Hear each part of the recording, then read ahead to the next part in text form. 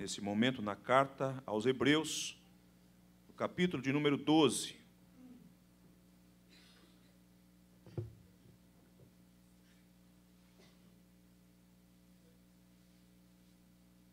Carta aos Hebreus, capítulo 12.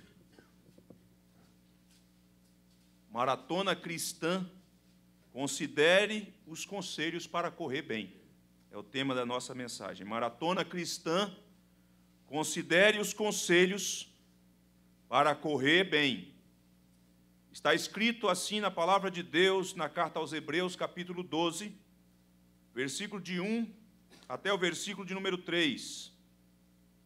Portanto, também nós, visto que temos a rodear-nos tão grande nuvem de testemunhas, desembaraçando-nos de todo o peso e do pecado que tenazmente nos assedia, corramos com perseverança a carreira que nos está proposta, olhando firmemente para o Autor e Consumador da fé, Jesus o qual, em troca da alegria que lhe estava proposta, suportou a cruz, não fazendo caso da ignomínia, e estando assentado à destra do trono de Deus. Considerai, pois, atentamente aquele que suportou tamanha oposição dos pecadores contra si mesmo, para que não vos fatiqueis, desmaiando em vossa alma, diz a palavra do Senhor nosso Deus. Maratona cristã, considere os conselhos para correr bem. Se você for num clube de futebol, lá nas, na galeria de um clube de futebol, talvez o clube do teu coração pelo qual você torce, você certamente vai encontrar lá numa, numa, no espaço, como que um museu daquele clube, fotos de homens jogadores extraordinários que marcaram a história daquele clube, que foram homens decisivos ah, em competições, em partidas importantes na história do campeonato em que ele disputou. No nosso caso, talvez o campeonato estadual e, de modo mais amplo, o campeonato brasileiro. Então você vê algumas fotos, aquelas jogadas Talvez uma bicicleta em que o cara marcou o gol e o fotógrafo pegou aquilo no alto, no ar, e marcou, e aquilo agora serve como uma espécie de memorial. Que boas recordações nos vêm à memória, ou pelo menos dos torcedores, daquele clube que traz alegria e para os adversários talvez nem tanto assim. Nós vemos ali troféu, nós vemos ali taça, medalhas, essas coisas que fazem parte, e aqui menciono de modo mais estrito, o esporte e o futebol. Mas você provavelmente não encontrará ali nas fotos fotos de decepções, fotos de derrotas, porque isso para aquele contexto não tem muita serventia, não tem muita utilidade para aquilo que é criado aquele espaço. Esse texto que nós lemos, ele vai mostrar uma diferença entre isso que estou colocando diante de vocês, ou pelo menos o contexto anterior desse texto. Nós vamos perceber que o escritor aos Hebreus, ele elencou, catalogou vários homens de Deus, mulheres, que viveram pela fé, que venceram pela fé, que participaram da maratona cristã na antiga dispensação e que foram bem-sucedidos, que venceram, que cruzaram a faixa de chegada. E este, é, este capítulo, portanto, desta carta aos Hebreus, e quando ele faz a menção destes homens, homens que inclusive alguns morreram por causa da fé, e isso não fez deles homens derrotados, pelo contrário, homens vitoriosos, porque é pela fé que fizeram o que fizeram. E aqueles irmãos, portanto, que receberam esta carta nesse momento difícil de perseguição e de sedução, porque esses cristãos judeus, eles estavam pensando que eles estavam em desvantagens em relação aos seus irmãos da antiga dispensação.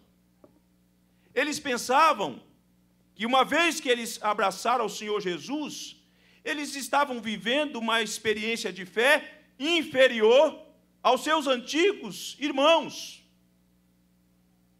E o escritor aos Hebreus escreve essa carta para mostrar que o contrário, que nós estamos vivendo nesse momento o apogeu, a plenitude da revelação e da mensagem do evangelho que chegou. E, portanto, a tônica do escritor aos Hebreus é mostrar que Cristo é superior. Cristo é superior àqueles antigos modos. Cristo é superior aos profetas. Cristo é superior aos anjos. Cristo é superior aos levitas. Cristo é superior aos antigos sacrifícios da antiga dispensação. Cristo é maior do que tudo aquilo que foi realizado, conquanto tudo aquilo tenha sido importante e relevante dentro daquele contexto. E aqui nesse capítulo, portanto, o escritor aos Hebreus, quando faz menção destes homens, desses nossos irmãos da antiga dispensação, ele vem para mostrar e vem para utilizar dessa história da redenção, dessa demonstração de confiança em Deus, de homens que eram semelhantes àqueles para os quais o escritor escreveu e semelhantes a nós, de carne e osso, sujeito a ficarem enfraquecidos, abatidos, desanimados. Ele vem para utilizar e para fazer com que servissem, servissem de um mecanismo, de um instrumento para estimular estes crentes. E é como se fosse uma espécie de imagem de uma arquibancada daqueles que correram bem, que cruzaram a faixa de chegada e agora eles estão na arquibancada assistindo aqueles que estão participando efetivamente da maratona cristã.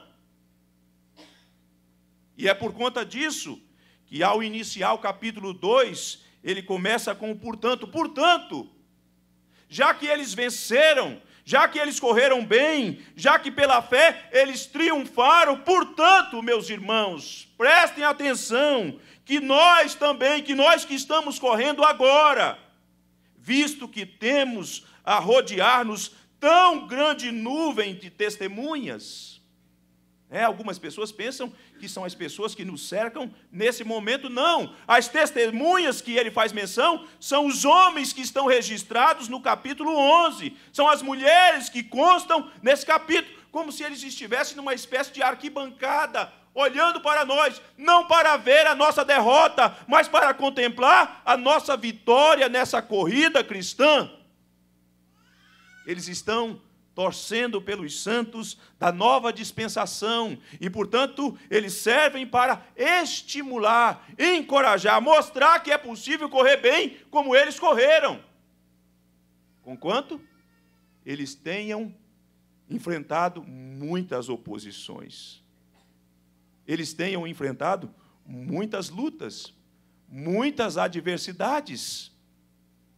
Se eles fossem olhar e se eles tivessem mantido os olhos nas circunstâncias difíceis da vida, eles teriam deixado de correr. Mas, entretanto, pela fé, eles conseguiram superar os obstáculos. Eles conseguiram avançar porque eles mantiveram a fé naquele que é o autor da nossa fé. E aqui nós temos, portanto, alguns conselhos que nós precisamos observar nesta linguagem em que o escritor emprega como se nós fôssemos também atletas. Nesta figura que ele extrai daquele contexto que era conhecido ah, pelos nossos irmãos, que estão ali precisando destas instruções que precisam observar as normas. Porque se um atleta não observa as normas, é possível que ele não consiga completar aquilo para o que ele foi arregimentado. Se ele ignorar as instruções, é possível que ele não consiga completar a corrida. Talvez ele fique pelo meio do caminho. E, portanto, é necessário, portanto, é, fornecer instruções como que no mentor num preparador físico que sabe todas as coisas, que sabe qual é a melhor forma de treinar os seus para que eles possam correr bem. E aqui nós temos então pelo menos quatro instruções, quatro conselhos. Eu gostaria de repartir com você nessa noite. Para correr bem, para participar dessa maratona cristã, a primeira coisa, o primeiro conselho que nós precisamos observar é que você precisa correr sem levar bagagem. Você precisa correr sem levar bagagem. Diz aí o texto, o versículo de número 1. Portanto, também nós, visto que temos a rodear-nos tão grande nuvem de testemunhas, desembaraçando-nos de todo o peso e do pecado que tenazmente nos assedia, corramos. Corramos. Meus irmãos, para quem participa de corrida, para quem está numa pista participando de uma corrida, se ele quer ter um bom desempenho, além do treinamento ele precisa ter, no dia da largada, quando ah, for autorizado, então, ao iniciar a, a, a iniciar a corrida, essa pessoa não pode atar sobre os seus ombros peso.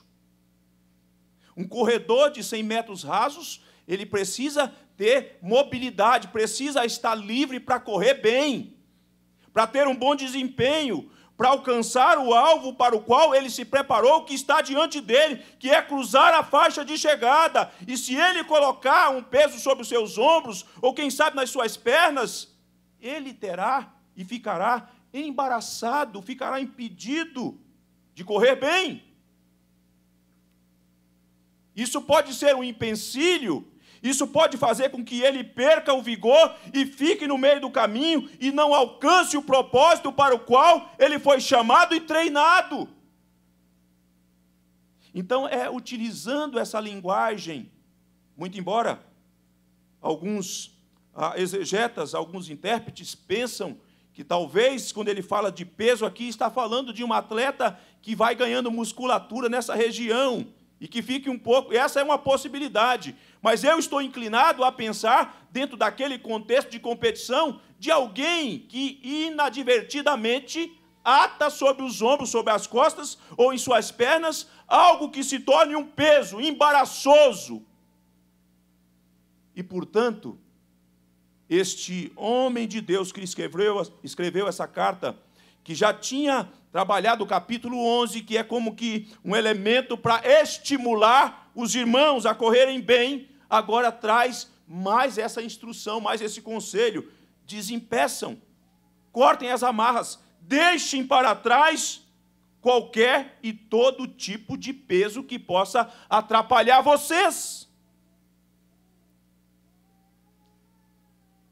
O que eu percebo, meus irmãos, portanto, e minhas irmãs, que algumas coisas na vida do crente, às vezes, elas não são imorais. Às vezes, num determinado contexto, elas não são pecaminosas por si só, diante de um determinado contexto.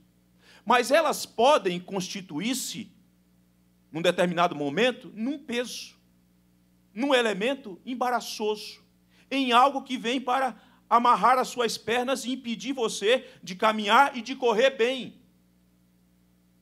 Às vezes não é pecado em si, mas pode se tornar um peso impedir a sua carreira e a sua caminhada. Pensando de modo prático, a utilização que nós fazemos com as devidas ressalvas dos nossos aparelhos, do WhatsApp, do Facebook, do Facebook. Essas coisas por si só, dependendo da utilização, não são pecaminosas. Mas dependendo do modo como nós nos, ah, nos utilizamos ou utilizamos esses recursos, esses instrumentos, isso pode constituir um peso para a caminhada ou para a corrida cristã. No modo como você utiliza, nos textos que você publica, nas coisas que você fala, nos vídeos que você posta, isso pode tornar-se um peso para a sua caminhada e um escândalo para o outro que está correndo juntamente com você, que não é um competidor, mas que faz parte dessa nossa caminhada, desse nosso companheirismo da fé. Pensando nisso ainda, pense você num moço como alguns dos nossos que aqui estão, nas moças que aqui estão também, Estou me dirigindo a eles de modo particular, mas pode ocorrer também ah, com cada um de nós que temos um pouquinho mais de maturidade, de idade mesmo dizendo. Se um jovem, no sábado à noite, envereda a noite adentro, madrugada, atualizando o Facebook, sabendo que o dia do Senhor se aproxima, que o domingo está se aproximando cada vez mais, um dia que foi deixado-nos para dedicarmos ao culto ao Senhor, e passa de zero hora, e chega uma hora da manhã, duas horas, três horas, e lá está ainda diante da tela, essa pessoa virá para a igreja com o coração indisposto para adorar. Essa pessoa virá para a igreja, para esse, esse espaço, indisposto para servir, para ouvir a palavra de Deus. E aquilo, portanto, que necessariamente não era um pecado, constitui-se num peso. Porque não há regozijo, não há contentamento, não haverá disposição para ouvir uma mensagem de 40, de 50 minutos, porque tudo se torna longo demais. Mas não foi longo ficar três horas no Facebook? Não foi demais ficar tantas horas no WhatsApp? Então aquilo que necessariamente não era um peso ou não era um pecado, se torna um peso. Se tornam correias, peias que amarram as pernas dos corredores. Muitas outras coisas nós poderíamos aqui elencar que necessariamente não são pecados, mas que à medida que se usa de modo exagerado, exacerbado, isso se torna um peso. Mas o escritor, além disso, diz: olha, essa corrida que nós precisamos correr sem levar bagagem, nós não podemos ter um namoro com o pecado, desembaraçando-nos de todo o peso e do pecado que tenazmente nos assedia. Essa ideia aqui, que tenazmente nos assedia, é a ideia de força, é a ideia de sedução, é a ideia de algo que vem para capturar o nosso coração e a nossa mente. E uma vez que isso acontece, nós somos impedidos de correr a maratona cristã de um modo em que nós, provavelmente, se não atentarmos para os bons conselhos daquele que, tá, que está nos treinando, é possível que essa pessoa não consiga completar a carreira. O que você tem carregado na sua bagagem?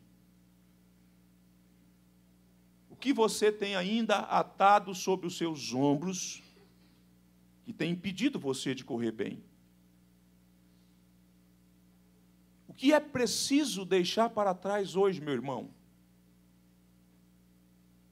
Faz uma avaliação.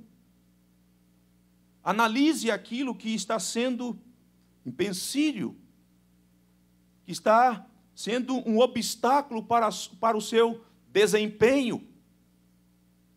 E tome uma decisão hoje diante de Deus Peça ao Senhor Deus para que as amarras sejam cortadas, para que esse peso, para que esse fado fique para trás, para que você tenha um bom desempenho e alcance êxito dentro daquilo que o Senhor colocou diante de você.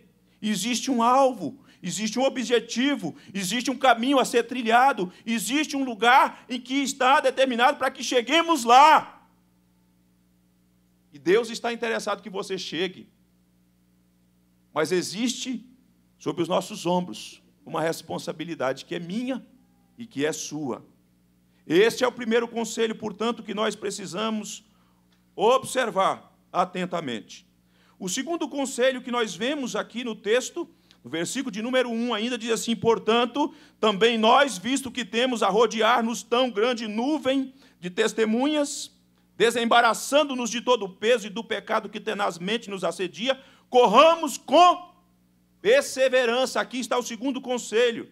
É preciso correr com perseverança. Meus irmãos, são muitas coisas que surgem na caminhada que vêm para fazer com que você pare. São muitas coisas. São situações difíceis que promove ou que provoca o desânimo, o abatimento. Que por conta de determinadas frustrações e decepções com a vida, com pessoas, e algumas que as pessoas, por não compreenderem aquilo que Deus está fazendo, elas ficam decepcionadas até com Deus, por conta dos equívocos, obviamente. E elas, como que ah, numa rebeldia, empaca. Param, desistem.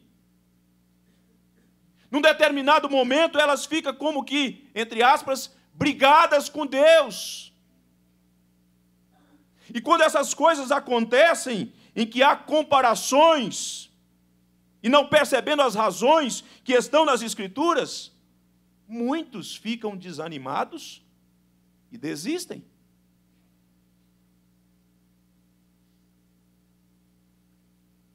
Uma coisa que ocorria, que ainda ocorre com alguns, ocorria comigo por conta da prática, né?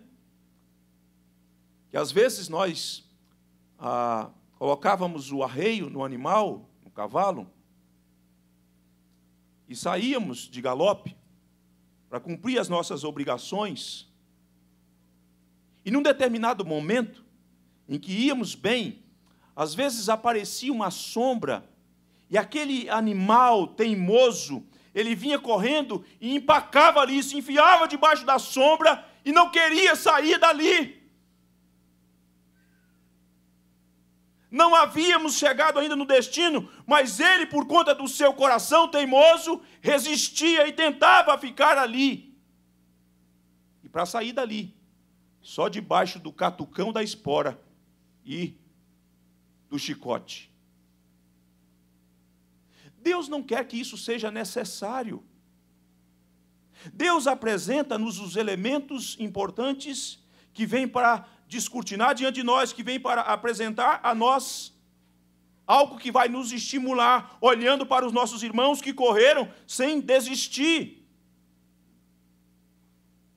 que a despeito daquilo que eles enfrentaram, eles avançaram, eles prosseguiram, e porque prosseguiram diante ou de acordo com as normas estabelecidas pelo Senhor nosso Deus, eles triunfaram, eles perseveraram continuamente.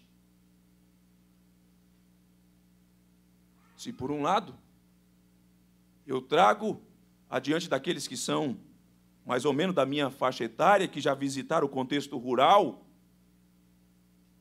esta imagem que faz com que vislumbre esse, esse modo teimoso, como mencionei. Por outro lado, os nossos filhos mais jovens, que talvez não vivenciaram, têm uma boa ilustração que é contemporânea daquele personagem do filme A Era do Gelo, aquele que o filme sempre começa aquele bichinho pequeno que está correndo aqui e acolá e que surge tantos obstáculos e ele nunca desiste. Ele persevera o tempo todo, ele vai à luta. A geleira se, se racha e abre um abismo, e mesmo assim ele insiste, ele insiste, ele insiste o tempo todo. Talvez um sinal contemporâneo para os nossos filhos de perseverança. Mas a Escritura traz e descortina diante de nós e dos nossos olhos imagens de que o cristão não desiste, de que o cristão tem consciência de que lutas surgem mesmo, de que situações e que obstáculos aparecem, mas o cristão sabe que não se deve desistir jamais. E o que dizer? daquela viúva da parábola contada pelo Senhor Jesus no Evangelho de Lucas, no capítulo 18, que comparece uma, uma, duas, três, que não desiste, estava lá todos os dias, insistentemente orando, julga minha causa contra o meu adversário, e por conta da perseverança e por conta da insistência, diz a Bíblia que ela foi ouvida. E o Senhor Jesus diz assim, fazendo contraste do caráter daquele juiz iníquo que não temia Deus, nem respeitava a lei alguma, o Senhor Jesus diz: Porventura Deus não fará justiça aos seus escolhidos que a Ele clamam dia e noite? Insistência, perseverança, é a marca do crente. Nós precisamos, portanto, considerar nessa maratona esses dois conselhos. Não podemos levar bagagem. Para correr bem é preciso correr sem bagagem. Para correr bem é preciso correr com perseverança. Em terceiro lugar, o terceiro conselho que nós temos aqui da parte de Deus para a nossa vida nessa noite é que nós precisamos correr com confiança, diz aí o versículo de número 2, olhando firmemente para o Autor e Consumador da nossa fé, Jesus. Aqui, meus irmãos, nós temos o fundamento, o cerne que dá sustentação à nossa confiança nessa jornada. É preciso o tempo todo, diante das muitas imagens, diante das muitas cenas que aparecem e que acabam sendo capturadas, absorvidas pelos nossos olhos, uma coisa você não pode deixar de fazer: os olhos precisam serem mantidos firmemente no Autor e Consumador da nossa fé. Não pode haver desvios. Você não pode tirar os olhos daquele que dá sustentação e que mantém a sua vida nessa caminhada. Fazê-lo pode ser trágico. E o escritor aos Hebreus é categórico é preciso, ele diz, olhando firmemente para o Autor e Consumador da fé. E ele diz: quem é ele? É Jesus. Aquele que, em troca da alegria que lhe estava proposta, suportou a cruz, não fazendo caso da ignomínia, e está assentado à destra do trono de Deus. O objeto da fé, o objeto da confiança, uma pessoa só pode ser bem-sucedido nessa caminhada se Cristo Jesus for o objeto da fé. Há muitas pessoas que demonstram que têm algum tipo de fé, que têm algum tipo de confiança, mas quando se olha para o, para o alicerce, para o fundamento, para a base, nós vamos perceber que está comprometido, não é Jesus. E se não é Jesus, não é possível completar a corrida. E se não é Jesus, não é possível cruzar a faixa de chegada. Mas se Jesus é o fundamento, é possível avançar vitoriosamente. E eu gostaria de trazer um exemplo de uma pessoa que tira os olhos de Jesus. Abra sua Bíblia no Evangelho de Mateus.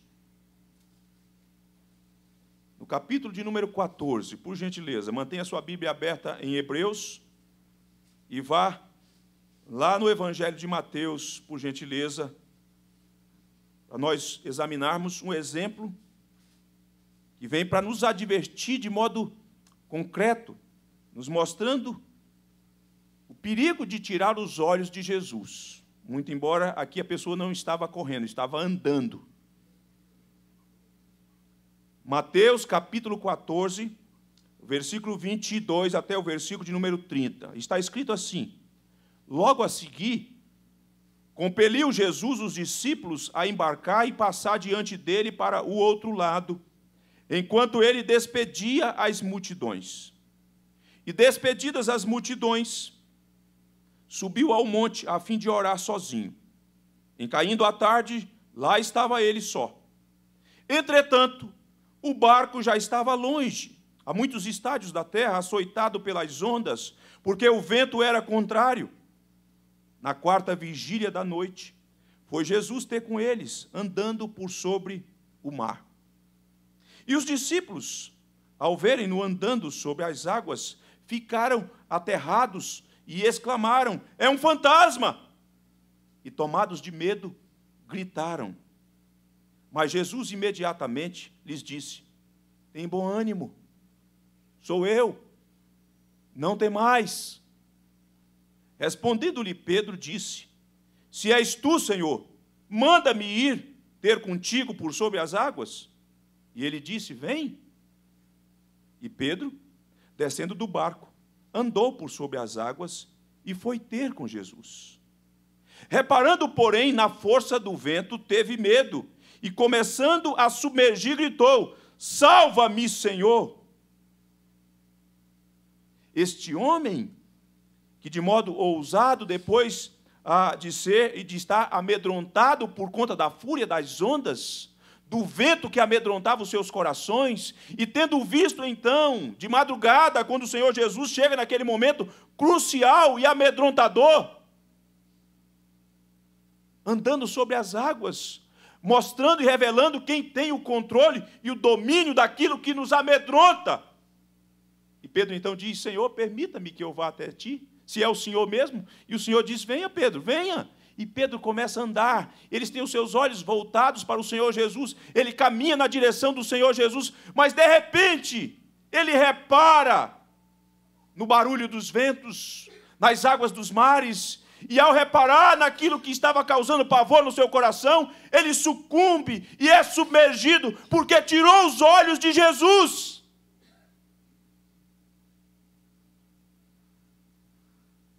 Aquilo que nos amedronta, é aquilo que pode fazer com que naufraguemos. Aquilo que causa pavor em nós, se nós mantivermos os nossos olhos voltados para as circunstâncias, é possível que não consigamos avançar. Mas se tivermos a consciência de que aquele que nos amou, de que aquele que se entregou por nós é soberano, é Senhor das circunstâncias, e os nossos olhos foram mantidos, forem mantidos nele, não há como ficar no meio do caminho, irmãos. Aqueles cristãos que receberam essa carta, a carta aos Hebreus, eles estavam enfrentando lutas, as circunstâncias eram difíceis. Como se não bastasse as circunstâncias, os mecanismos que estavam lhe rodeando a eles, eles tinham ainda aquela percepção de estar vivendo uma, uma experiência com Deus inferior aos seus pais. E os escritores hebreus, não. O que vocês precisam é ter confiança, como uma criança que consegue lançar-se nos braços dos seus pais, que consegue pular, porque sabe que o seu pai vai agarrá-la, vai segurá-la, vai protegê-la. O que vocês precisam é exercitar a fé de vocês, é manter a fé de vocês no autor e consumador da fé, que é Jesus Cristo. Aquele que abriu mão da alegria, aquele que foi obediente até a morte e morte de cruz, aquele que perseverou, mesmo diante e mesmo sabendo da agonia da cruz, ele não recuou, ele não ficou no meio do caminho, ele foi à cruz. Confie nele. Mantenha os olhos mantenha os olhos de vocês nele. Ele provou como se persevera, obedecendo. Ele provou como se persevera, mesmo diante da grande humilhação que ele haveria de passar, ele não desistiu, ele avançou. Portanto, olhem para ele. Meus irmãos e minhas irmãs, o que faz com que muitas pessoas fiquem no meio do caminho é que quando elas deparam com essas questões que desafiam o coração, em que elas avaliam e falam: bom, se eu seguir esse caminho, eu terei alegria, eu terei prazer. Bom, se eu enfrentar esse caminho, esse caminho é um caminho difícil, é um caminho que traz sofrimento. O que faz com que elas fiquem no meio do caminho é uma espécie de sedução que acontece. O texto diz que ele trocou a alegria. Ele trocou a alegria. E ao fazê-lo, o texto está mostrando, portanto, que ele trilhou um caminho de obediência, que é marcado e que foi marcado pelo sofrimento, porque envolvia a cruz. Sabe o que faz com que uma pessoa pare no meio do caminho, dentre muitas outras situações? São as possíveis seduções, em que vem com uma roupagem e que fale: assim você terá alegria. Assim você terá contentamento, assim você terá prazer. Este caminho de andar com Deus, esse caminho de ser discípulo de Jesus Cristo, traz sofrimento. Obedecê-lo pode fazer com que você sofra. É por isso, portanto, que o modelo é apresentado para se confiar, para correr bem. Mas ele vai mostrar também que, tendo passado por essas etapas, que tendo utilizado e enveredado pelo caminho da obediência, que mesmo tendo enfrentado a cruz, que mesmo tendo enfrentado a humilhação, porque ele foi despido diante dos anjos que ele criou, no entanto, tendo vencido essas etapas, ele agora está no momento da exaltação, da coroação. É tudo que um atleta quer e é tudo que um atleta precisa. É o momento da coroação, mas até chegar lá, até alcançar o pódio, é preciso trilhar um caminho que tantas vezes é marcado por sofrimentos, é marcado por renúncias, e é necessário, portanto, um atleta que quer correr bem precisa estar ciente que essas coisas existem. Se não estiver disposto aos sacrifícios, às normas, não terá condição. Mas o Espírito Santo de Deus sabe que o nosso coração precisa desse estímulo, e ao fazê-lo, além de apresentar os irmãos da antiga dispensação, ele apresenta um modelo maior. O modelo maior é Jesus. Olhem para ele. Mantenham os olhos de vocês nele.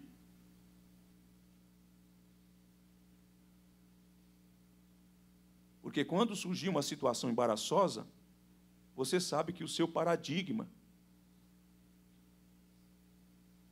que é aquele que você precisa admirar, que é muito maior do que os seus heróis, que é muito maior do que os atletas que você admirou no passado, ou que você admira no presente, ele está muito acima. Olhem para ele. Não tire os olhos dele, porque senão o barulho do vento, as ondas do mar, as tempestades da vida. Se você olhar para elas, se os seus ouvidos ficarem voltados para os barulhos que nos rondam e que nos cercam, é possível que não consiga avançar. Em quarto lugar, nós já vimos três conselhos. Em quarto lugar, é preciso que você corra com consideração.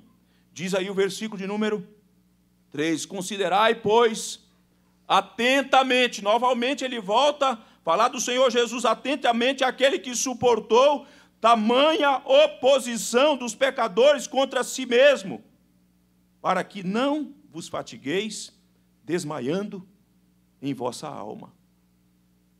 E a ideia desse verbo considerar é uma a ideia ah, da matemática. É como se nós parássemos para fazer um cálculo e avaliar todas as possibilidades, para chegar a uma conclusão de que o saldo é positivo, que vale a pena considerar, e pois, atentamente, não é de qualquer maneira, não. É preciso envolver diligência, atenção, é preciso olhar as minúcias que estão ali envolvidas dentro desse contexto daquilo que o nosso modelo maior suportou grande oposição, tamanha oposição dos pecadores que seriam diante desse quadro elementos para fazer com que ele desistisse. Mas pelo contrário, ele não desistiu. Porque dentro desse plano, mesmo enfrentando essa oposição de homens maus, de homens malignos, de homens que haveriam de matá-lo, ele não desistiu porque contemplava você, porque contemplava o plano de Deus, porque sabia que o seu pai havia estabelecido normas e essas normas precisavam ser consideradas. E agora é a minha vez, e agora é a nossa vez de considerar essas normas que, conquanto num grau menor, mas é preciso olhar para aquele que verdadeiramente cumpriu todas elas. Considerai, pois, atentamente aquele que suportou tamanha oposição dos pecadores. E por que que você deve fazer isso? Qual é a, a finalidade de você considerar ao Senhor Jesus que suportou essa oposição? A finalidade é para que você não desmaie. A finalidade é para que você não perca o vigor que você tem, é que a sua alma não desfaleça, diz aí o texto, para que não fatiqueis, desmaiando em vossa alma. Se você desconsiderar isso, se você desconsiderar o que ele fez, o que ele enfrentou, você perderá o vigor. E você sucumbirá e ficará no meio do caminho. Todavia, se você considerar, a sua alma será animada, você receberá da parte de Deus um tônico, uma vitamina que lhe dê condição de avançar e de correr vitoriosamente para alcançar o prêmio da soberana vocação.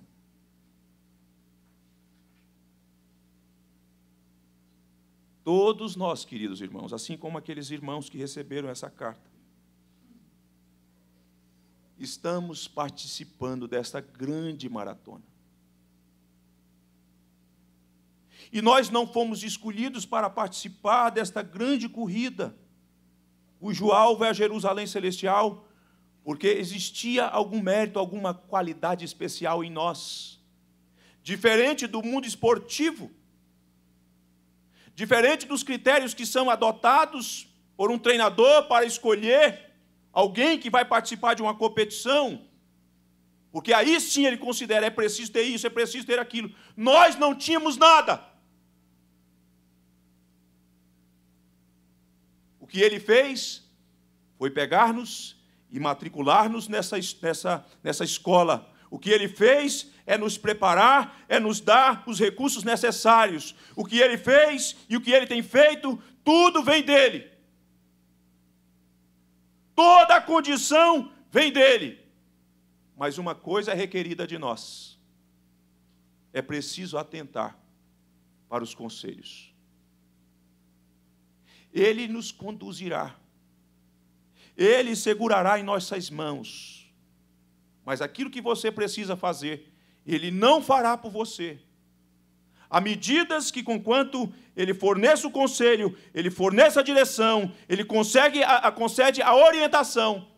Entretanto, é você que tem que acolher esses conselhos com seus ouvidos, escutar atentamente e colocar isso em prática. O primeiro conselho, corra sem levar bagagem. O segundo conselho, corra com perseverança, não desista. O terceiro conselho, corra com confiança, mantenha os olhos em Cristo. E o quarto conselho, corra com consideração àquele que suportou tamanha oposição. Fiquemos de pé.